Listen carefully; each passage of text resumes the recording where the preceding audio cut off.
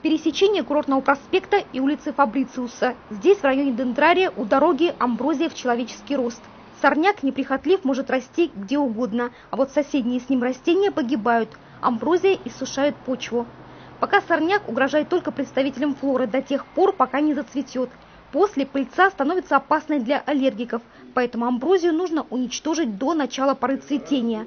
Об этом сегодня говорили на специальном совещании в администрации города чтобы в каждом районе был организован штаб по уничтожению сорной растительности. Особое внимание уделив это детским садам, дошкольным учреждениям, школам, больницам, детским площадкам.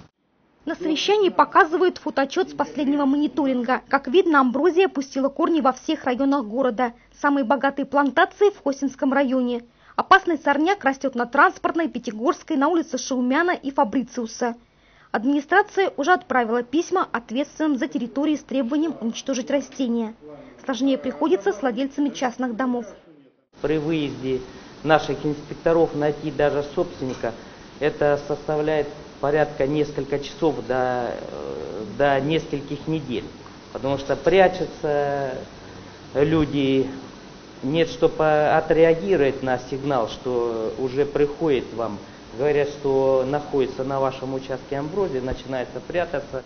В ходе рейдов специалисты Россельхознадзора на владельцев частных домов уже составили 20 протоколов.